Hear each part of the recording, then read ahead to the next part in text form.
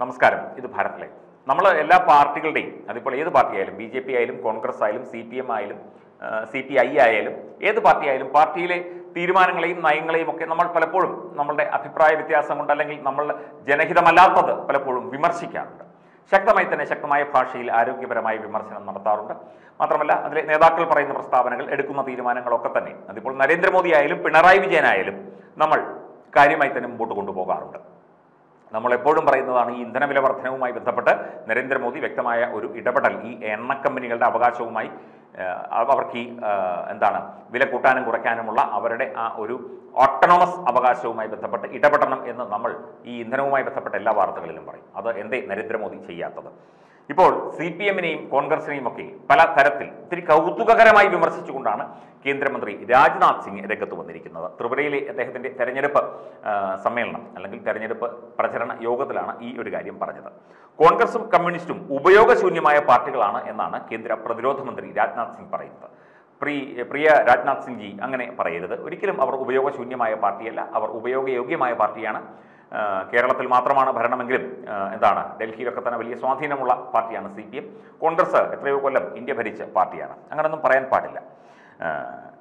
ത്രിപുരയിൽ ഒരു പാർട്ടി ഓടക്കുഴലും മറ്റേത് സിത്താറുമാണ്. കോൺഗ്രസ് ഒരുപാട് ദ്വാരങ്ങളുള്ള ഓടക്കുഴലാണെങ്കിൽ കമ്പികൾ പൊട്ടിയ ഒരു സിത്താറാണ് സി പി എം. അവർക്ക് ഇനി ഈണമൊന്നും ബാക്കിയില്ല.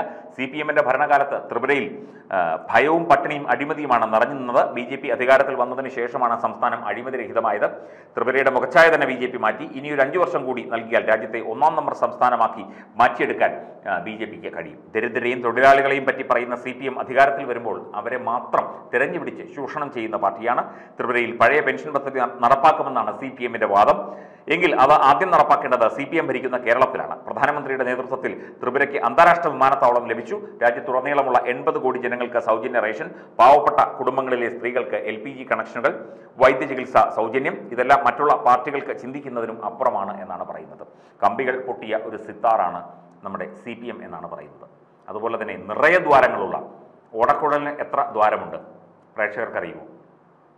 ഒൻപത് ദ്വാരങ്ങൾ നവദ്വാരങ്ങളാണ് ഉള്ളത്. അപ്പോൾ ഒൻപതിലധികം ദ്വാരങ്ങളുള്ള ഒരു ഓടക്കുഴലാണ് കോൺഗ്രസ് പാർട്ടി എന്നും കമ്പികൾ പൊട്ടിയ ഒരു സിത്താറാണ് സി പി എം എന്നും രാജ്നാഥ് സിംഗ് ജി പറയുന്നു. ഏ അങ്ങനൊന്നും വിമർശിക്കേണ്ട കാര്യമില്ല. അവരൊക്കെ രാഷ്ട്രീയ പാർട്ടികളല്ലേ. ബി ജെ പി ചെയ്യുന്ന കാര്യങ്ങൾ ചെയ്തുകൊണ്ടിരിക്കുക നിങ്ങളുടെ വാഗ്ദാനങ്ങൾ നടപ്പിലാക്കുക അത് കൃത്യമായി ജനങ്ങളിലേക്ക് എത്തിക്കുക അത് ചെയ്തോളൂ. കമ്പികൾ പൊട്ടിയ സിത്താറും നിറയെ ദ്വാരങ്ങളുള്ള ഓടക്കുഴലൊക്കെ ശരിക്കും ഉപയോഗശൂന്യം തന്നെയാണ്.